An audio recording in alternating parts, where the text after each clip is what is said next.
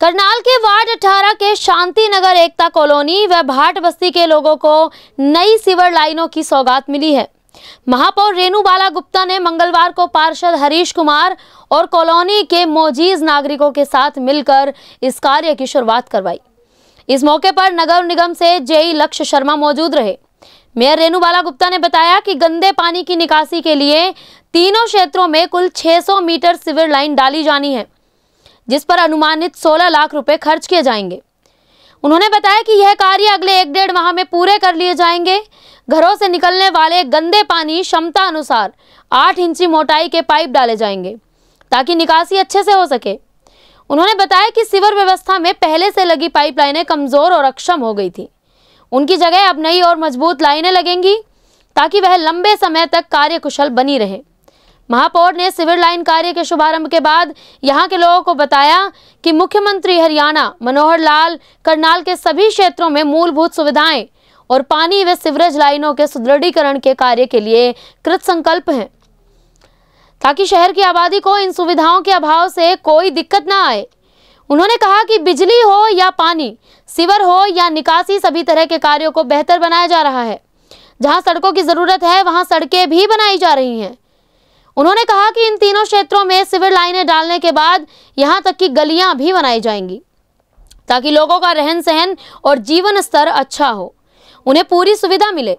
Ward अठारह के पार्षद हरीश कुमार ने इस अवसर पर सिविल लाइन के कार्य के शुभारंभ के लिए मेयर का स्वागत एवं आभार व्यक्त किया और कहा कि इन कार्यों के होने से यहाँ के लोगों की मांग पूरी हो गई है। इस मौके पर नागरिकों, विशेषकर महिलाओं ने महापौर का फूल मालाओं से स्वागत किया। समाचार एक्सप्रेस की रिपोर्ट। कहेंगे आज सीवरेज की जो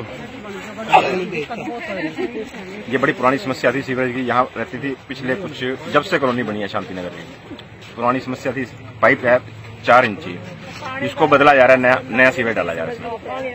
तो कितनी लागत आएगी इसमें? कब तक काम गुजर हो? जाएगा लगभग चौदह पंद्रह लाख रुपए के आसपास पूरे वार्ड में लगने हैं जिसमें ये टुकड़ा भी है इसमें छह सात लाख के आसपास इसमें लागत आएगी। आज सीवरेज लाइन का उद्घाटन किया निर्माण कार्य की शुरुआत की है क्या कहेंगे? सारी व्यवस्थाएँ शहर में चाहे सड़कों का निर्माण कार्य है चाहे सौंदर्यकरण के साथ है। इसके साथ साथ मेन जो समस्या होती है सीवरेज की समस्या होती है। यहाँ पर शांति नगर में फौजी वाली गली में लोग बड़े परेशान थे। यहाँ सीवरेज की वजह से हमारे पार्षद महोदय ने हमारे हरीश भाई ने ये समस्या लोगों की सामने रखी और इसका अब 16 लाख से ये काम शुरू होने जा रहा है। लगभग 200 मीटर की ये पाइपलाइन है। इसके साथ साथ हमारे भाट बस्ती की या एकता कॉलोनी की भी पाइपलाइन इसके साथ साथ बिछाई जाएँगी। लोगों को बेहतर सुविधा देने के लिए, विशेष तौर पे गलियों में सीवरेज और पानी की विशेष सुविधा हो, इसके लिए माननीय मुख्यमंत्री जी ने हमें बार बार दिशा निर्देश दिए हैं। हम उन्हीं के दिशा निर्देश से अपने शहर में व्यवस्था परिवर्तन और इसके साथ साथ शहर में सौंदर्यकरण का जो काम कर रहे हैं, उसमें लोग हमें बढ़ चढ़कर सहयोग करें।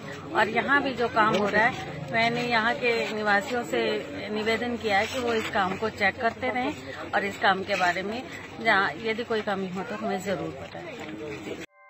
ऐसे ही लेटेस्ट खबरें पाने के लिए बेल आइकन को क्लिक कर हमारे चैनल को लाइक, शेयर एंड सब्सक्राइब करें। धन्यवाद।